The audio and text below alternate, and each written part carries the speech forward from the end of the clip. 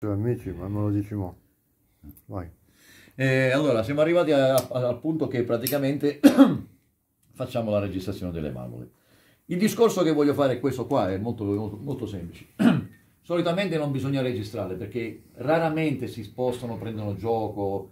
Eh, quello che dovete fare molto importante, se proprio non potete stare fermi con le mani, è smontate i coperchi delle punterie senza toccare niente e, e andate a controllare se i dadini di serraggio del- dell'alberino piroettante sono chiusi bene, perché tante volte mi è capitato che uno di questi era svitato.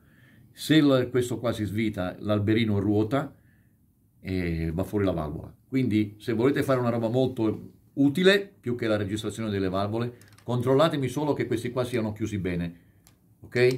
Un colpettino senza esagerare, eh? Così. Boh. La, quella è la cosa importante da fare. Eventualmente, se volete fare anche la registrazione delle valvole, e allora bisogna attrezzarsi con una chiave da 8 e uno spessimetro. In questo caso, nel, nel GP, la casa madre consiglia di fare le valvole, gioco valvole 0,15 e 0,15, sia aspirazione che scarico. Quindi spessimetro da 0,15 e chiave da 8.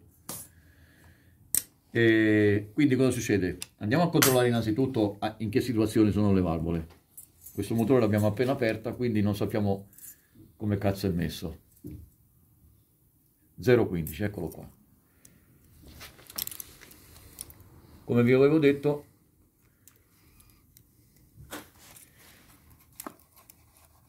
queste qui vanno bene. Per- sono perfette. Sono perfette, non dovete toccare un cazzo. Poi vediamo anche quello davanti. Ma queste qui non dobbiamo toccare un cazzo, perché sono a posto. Non si sono né affossate, forse queste qui sono un po' lasche, però ecco, se vogliamo proprio far spaccare la pocchiacca alla formicola, devo fare. Se no, questa qui è un po' lasca. Vediamo se entra il 20. Ecco, per fare la prova uno cosa fa? Prende lo spessimetro da, da 20 e vede se passa. E non passa. E quindi praticamente ci siamo.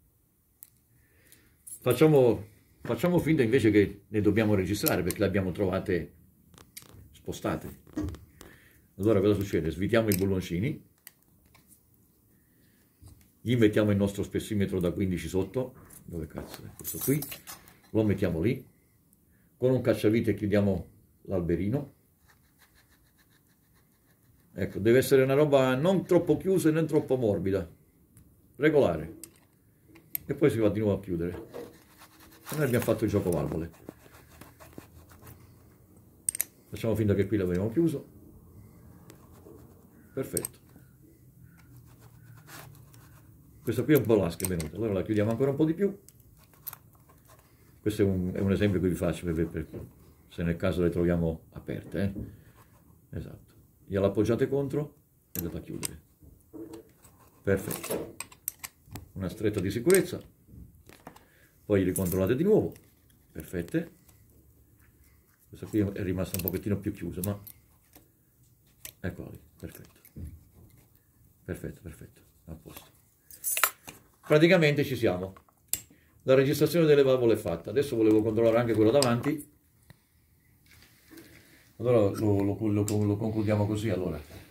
Quindi quello che è importante, quello che è importante sapere fare è assicurarsi che questi quattro dadini qua da, da 8 siano chiusi bene, perché se si svidano questi qui o che qualcuno è un po' lento, ce l'abbiamo nel culo. Abbiamo fatto la, la- la registrazione delle valvole del cilindro posteriore, la prassi è questa per tutte e quattro le valvole. Adesso ci spostiamo al cilindro anteriore, per fare questo dobbiamo portare la fase sul, sul volano al, sul numero 2 e dobbiamo portare la fase del- sul- del- del- della distribuzione sul castelletto collimare i due puntini, che adesso vi faccio vedere.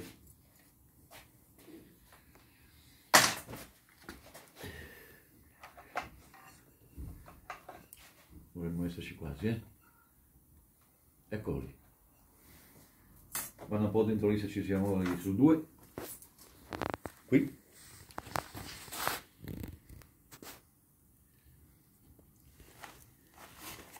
Forse non si vede, eh? No, Aspetta un po', che arrivo con la fila. ruota, ruota. Non c'è? Allora sono andato troppo avanti. Aspetta un po' che... Arriva, guarda un po'. Piano, È lì? piano, Vado ancora un pelino? sì. Ancora, ancora. Boh, Troppo. troppo. Aspetta che torno indietro. Ancora un... Eh, lì, lì. Ok. Ok. Numero 2. Collimiamo il cilindro A, vuol dire anteriore. Questo- questa linea qui la collimiamo con quel, con quel bulino lì. Ci assicuriamo che il pistone è al punto morto, come prima. Con un cacciavite mettiamo nella candela e andiamo a vedere che il cielo del pistone, il cielo del pistone è tutto su in alto. Adesso andiamo a controllare anche queste valvole qui. Però da come si muovono già vi posso dire che sono come casa madre l'ha fatte. Andiamo a prendere il nostro spessimetro. Prima ci assicuriamo beh, che sono tutti chiusi. Questo qui era leggermente lasco, ma gli diamo un colpettino giusto a chiudere ancora un pelino. Perfetto. Andiamo a vedere un po' di fare anche qui la prova dello spessimetro. Ciao Mimo. Dove cazzo è il 20 e il 15? Eccolo qua. Lo mettiamo dentro lì, andiamo a controllare. Qui è un po' più cagamento di cazzo perché... Però, ragazzi, senta- ecco, questa qui è un po' lasca, ma... Ma proprio se vogliamo fare i pidocchiosi, eh. Fammi vedere queste di sotto, me lo scarico. Ma sono leggermente lasche, per cui procedo a fare la regolazione. Però vi ripeto, è talmente minima la roba. Vuoi la luce? No, È talmente minima la roba che, che non starei nemmeno a regolarle.